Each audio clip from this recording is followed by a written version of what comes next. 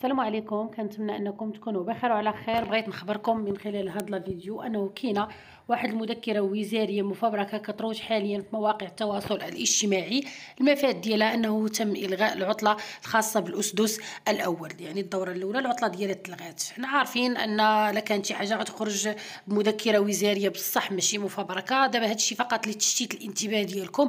ما تركزوش مع هادشي une fois غتكون شي حاجة غادي نعلمكم بها. ركزوا مع الأساتذة ديالكم. وكنتمنى لكم التوفيق في هادشي اللي باقي في هاد السنة.